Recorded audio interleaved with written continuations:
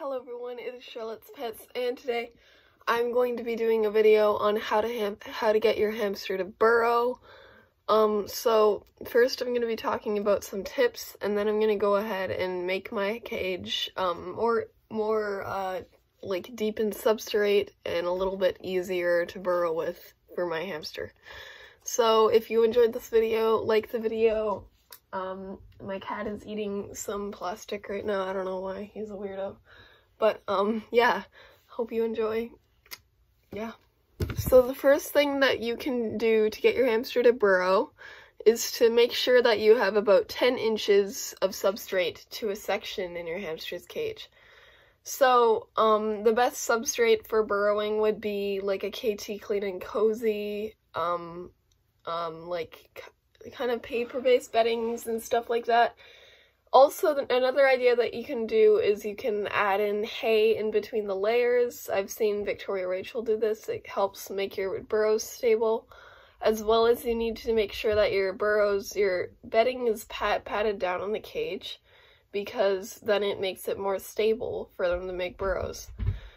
Um, the, uh, the next thing, uh, is that, like, you can't have uh like um aspen bedding wouldn't work very well for burrowing because it's kind of a more of a wood shaving natural thing. Also, there's a couple other beddings that are unsafe that that I wouldn't recommend using. Don't use pine, don't use cedar, and don't use scented beddings. So, uh, pine and cedar are from the wood shaving, from the softwood family. So, I'm just gonna... Rusa? What's she doing? Someone interrupted my video.